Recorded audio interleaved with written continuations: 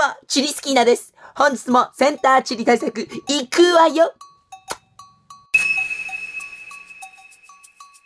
さあ、本日もセンターチリ対策始まったわよ。みんな、勉強してるかな？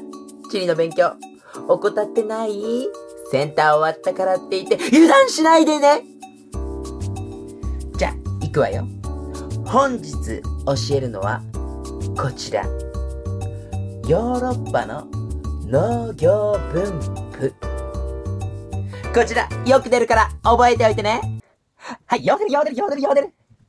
と、その前に、コメントが来てから、コメントに返信したいと思うわ。えー、トモスライムさんから、女？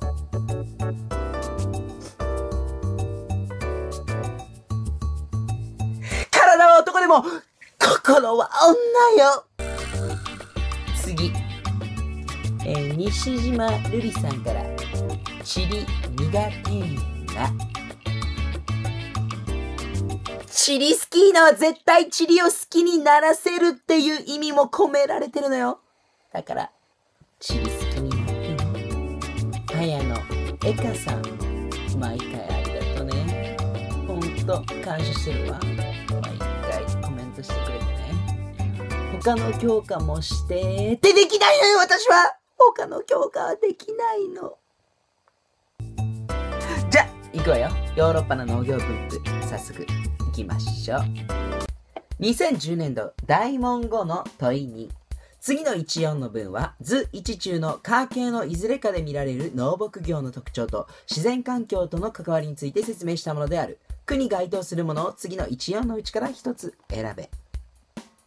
1番、この地域は夏季に著しく乾燥するため、コルク菓子やオレンジを栽培している。2番、この地域は夏季に氷雪が溶けた地表面に生育する苔類などを利用してトナカイの遊牧が行われている。3番、この地域は黒色土、チェルノーゼムと呼ばれる肥沃な土壌が分布していることを生かして、企業的穀物農業が行われている。4番、この地域は消費地への近接性のほか、氷河の侵食を受けた影響などで土地が痩せていることから酪農が行われている。さあ、こちらね。こちら、ヨーロッパの農業分布が分かっていれば必ず解けます。そしてアメリカの農業分布のようにヨーロッパの農業分布も覚えていないと、点数は取れないのよ。だからちゃんと覚えてほしいわ。よく出るから。よ出るよ出るよ出るよ出る。ヨーロッパがあるとすると、北から酪農園芸。そして真ん中が混合農業。一番南側が地中海式農業。一番南側ね地中海式農業。こちら非常に出やすいわ。北側の酪農園芸農業というのはまあオランダだったりイギリスだったりそういったところで酪農で何が作られるかって想像してごらん？乳牛を使った、まあ、チーズだったり、まあ、加工品もそうだけれどもそういった食品だったり園芸農業は、まあ、チューリップだったりそういう花を栽培すること。そして南に南下すると混合農業。こちら、まあ、家畜を栽培したり穀物を育てたり、まあ、小麦を育てたりしてるところが多いわ。そして南側に行くと地中海式農業。こちらオリーブやオレンジ。そしてブドウなんかが作られている。地中海ってイタリアやフランス南のフランス。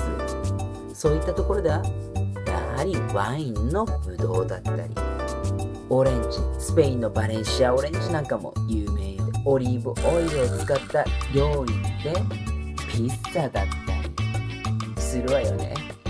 私も彼とピッツァよく食べたわ。おっといけないわ。でもこういったのってただただ今私が言ったことを覚えることできないわよね。できたの？本当に？嘘かいできないって分かってた？あなたいつもそうできないのよこんな喋るだけじゃ私がだから。また、早覚えの語呂合わせ持ってきたわ。これで一発で覚えてちょうだい。超美女が童貞くんを励ましている情景を思い浮かべてごらん。そんな、モテないからって落ち込むことないよ。頑張りなよ。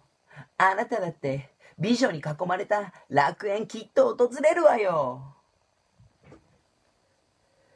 楽園コンチュー楽園コンチューこれで覚えられるわね。楽の園芸、混合、地中。みんな、ちゃんと覚えちょうだいね。よく出るからねって。はい、よでるよでるよでるよでるよでるよでるよでるよでるチューチューチュー夏のお嬢さんって私お父さんじゃないよよ、お嬢さんじゃ。完全にお嬢さんになりたいんだけどね。もう、